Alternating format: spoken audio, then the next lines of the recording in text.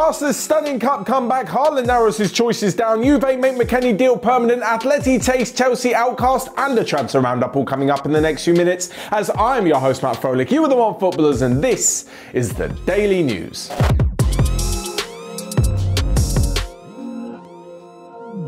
So first up, and Barcelona prepared for their clash against PSG and the comeback that is needed with a little comeback of their own in the Copa del Rey. That was against Sevilla after 2-0 down in the first leg. They managed to turn it around, but only, only just in the second leg.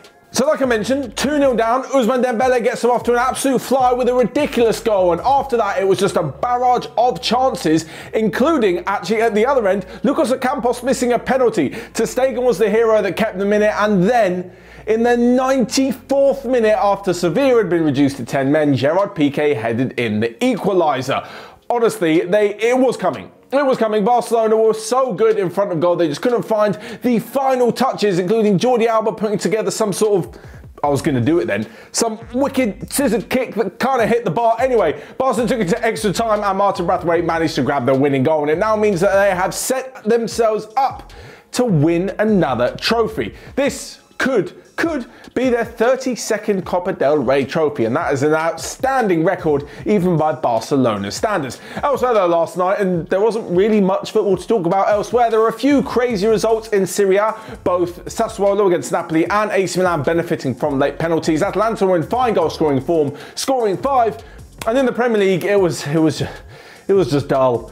I mean, yes, Sheffield United won, that's pretty crazy. Ian Iheanacho actually scored a banger, so fair play to him in the draw against Burnley, and Palace against United was a drab nil-nil, so we can kind of skip over that bit and move on to the next story. So, the next story actually revolves around Erling Haaland, because of course it does. It's transfer news, and it's Erling Haaland, and apparently he has six choices. He himself has narrowed his options for a transfer down to six teams, and honestly, it's absolutely no surprise. I mean, apparently Chelsea and Bayern Munich are out of the running, which has left uh, Liverpool, Man City, Man United, Juventus, Barcelona, Real Madrid. Like, duh, of course it's just going to be the biggest six teams. He should have thrown the spanner in the works and been like the other one would have been I don't know, someone else. Colchester. Shout out to the Colchester fans. I mean, it's pretty obvious that these teams are the ones with Champions League football, with the money to attract him, and also the project or the status as a club to bring in other good players to hopefully take him to the top of his game and win both team and individual trophies. If you add on Chelsea and Bayern, who are apparently out of the race, to this list, those are the top eight teams in the world. Those are the teams that you're going to sign for when you're already at Borussia Dortmund. Apparently, the striker has said that he doesn't want to make another step. He wants to jump right to the top. And there isn't really a step between Dortmund and the top level teams. Like, it's clear that Dortmund are certainly not this season, but certainly in terms of finances, in terms of attraction, in terms of status, the second biggest team in Germany.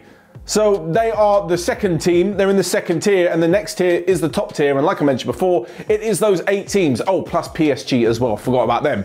Those are the top nine teams that any player worth his weight wants to move to to get the money and to be at the top of European football, so it's kind of obvious. As for who he'll choose, I actually have no idea. I've had so many thoughts about this, and believe us, you can look back. We've made a lot of thumbnails with Haaland in different football kits, but Angelina made a video the other day, which you can find by clicking here, and you can see her opinions on where she thinks the Norwegian player will end up. Anyway, moving on, and actually talking about a German team and Schalke, who are having a terrible season, have lost one of their players in Weston McKennie. I say lost, he moved to Juventus last summer on initial loan, and now the club have made it permanent. Around 18 million euros is the cost that Juve are paying, with 6.5 million in add-ons, and honestly, the beginning of the season, this one looks a little bit weird. Like he was a young midfielder in the Schalke team that finished 12th in the Bundesliga. So for Juventus, who were absolutely smashing Serie A up until pretty much last summer, um, who want to go to the Champions League finals, who want to be successful, this, that, and the other, you would have thought that they'd be able to sign someone with a little bit more of an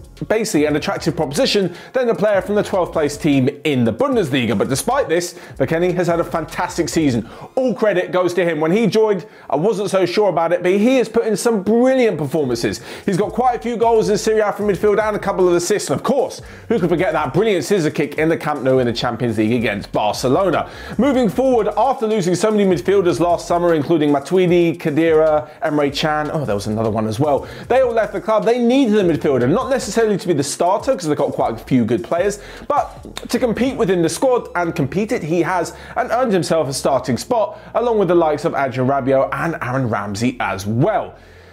Despite this, though, and the fact that Juve now made this permanent, I honestly think McKennie would have done anything to just not go back to Schalke. Obviously, things aren't going so well for them at the moment. In fact, they hired, they fired, sorry, their third manager of the season, and now have hired a fourth manager of the season as they battle desperately to avoid relegation into the second Bundesliga.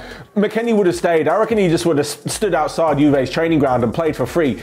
He would have done anything to just not go back to the Bundesliga club because Despite the fact they gave him his chance in European football, he really does not want to be playing in the second Bundesliga if he's proving that he can play towards the top of European football. Moving on then, and to one big transfer that could happen this summer, and it's been about a year since Chelsea announced that they would be signing Hakim Ziyech from Ajax at the end of the season for around 40 million pounds. And now, a year on, he's not really in the manager's plans. Thomas Tuchel has said that it's his fault that Ziyech's not playing, but the likes of Callum Hudson-Odoi, Mason Mount, Christian Pulisic are all getting game time and all playing pretty well, so Ziyech can't get into the team.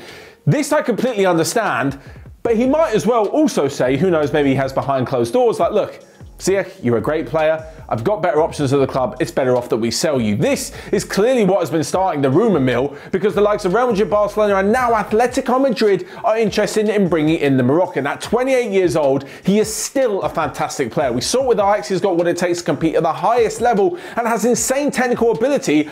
I just think he needs to play more. He needs to play more, he needs to get a run of form. We've seen so many players move to the Premier League who haven't quite cut it, and you've kind of got to look at whether they've been given a good chance or not. I know that a lot of people are banging on the likes of him, Donny van der Beek, Kai Havertz, who have all come into the Premier League and really not performed are they getting a chance to? Like, if you're in the team for one game and then you're out and then you miss a few and then you get a few sub minutes here and there, it's not really good enough. And for Ziyech is a player who needs to play consistently. And I think if he goes to Atletico Madrid and if Diego Simeone's men, if they win the title, great because then he'll be moving into a title winning team full of confidence. But if he gets enough minutes and enough consistent game time, he could be a stunning player, the likes we saw a few seasons ago. On top of all of this, Chelsea apparently are willing to lose a little bit of money on him, so he won't cost too much. Lastly, then, we come to a quick roundup of the rest of today's transfer news, where if Hector Bellerin is to leave Arsenal, they have apparently identified Max Aarons and Tariq Lamptey as the perfect replacements. Elsewhere, and Steve Bruce, after a bit of a training ground bust up with a few Newcastle players, is very, very close, obviously, to being sacked. Former Barcelona forward Bojan Krkic is apparently in talks with quite a few Indian Super League clubs over a transfer. And lastly but not least, when asked about Gareth Bale's future at Tottenham, Jose Mourinho's reply was, why don't you ask Zinedine Zidane? So there you have it then, that is all from me for today. Make sure you let me know your thoughts down below. Check out everything else I've got going on in One Football and until next time, I will see you guys later.